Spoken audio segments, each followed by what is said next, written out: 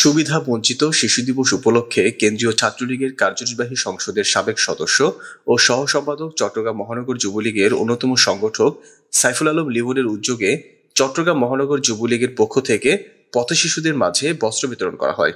এতে উপস্থিত ছিলেন চট্টগ্রাম বিশ্ববিদ্যালয় ছাত্রলীগের সাবেক যুগ্ম সাধারণ সম্পাদক, চট্টগ্রাম মহানগর যুবলীগের সংগঠক আমিমুল আহসান সুমন, বাংলাদেশ ছাত্রলীগের সাবেক সদস্য চট্টগ্রাম মহানগর স্বেচ্ছাসেবক লীগ নেতা সুজয়মান বড়ুয়া জিতু চট্টগ্রাম বিশ্ববিদ্যালয় ছাত্রলীগের সাবেক যুগ্ম সাধারণ সম্পাদক আবু তুরাব পরশ, চট্টগ্রাম মহানগর ছাত্রলীগের সাবেক সদস্য ও চট্টগ্রাম মহানগর যুবলীগ নেতা শরীফ আহমেদ, চট্টগ্রাম মহানগর স্বেচ্ছাসেবক লীগের সংগঠক শেখ ফরিদ আহমেদ ভুবন এবং বাংলাদেশ আওয়ামী যুবলীগ ও ছাত্রলীগের নেতাকর্মী বৃন্দরা এ সময় চট্টগ্রাম মহানগর যুবলীগের অন্যতম সংগঠক সাইফুল আলম লিমন বলেন, বাংলাদেশের স্বাধীনতা লগ্ন থেকে বাংলাদেশ আওয়ামী লীগ, যুবলীগ ও ছাত্রলীগ সর্বদা জনকল্যাণমুখী সামাজিক কর্মকাণ্ডে তৎপর ছিল।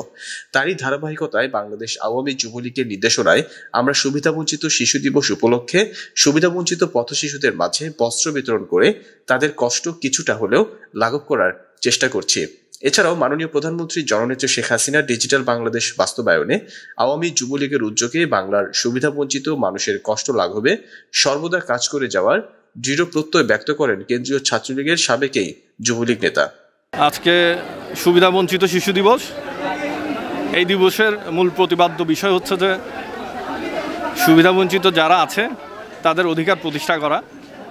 এই লক্ষ্যে আজকে আমরা একশো জন সুবিধাবঞ্চিত শিশুকে কিছু কাপড়ের ব্যবস্থা করেছি। আমাদের প্রয়াস থাকবে আগামীতে আমরা আরও বড় পরিসরে সুবিধাবঞ্চিত শিশুদের জন্য কাজ করব। আমি উদ্যত্ত আহ্বান জানাব চট্টগ্রামে যারা বিত্তশালী আছেন, তারা যেন সুবিধাবঞ্চিত শিশুদের পাশে থাকে। কারণ আজকে শিশুরা আগামী দিনে ভবিষ্যৎ। আমরা যদি তাদের পাশে থাকি, তাদের মৌলিক চাহিদাগুলো পূরণ করতে পারি সুবিধাবঞ্চিত শিশুদের, তাহলে আগামী ভবিষ্যৎ, আগামী বাংলাদেশ সুন্দর হবে এবং বাংলাদেশ আরও এগিয়ে যাবে।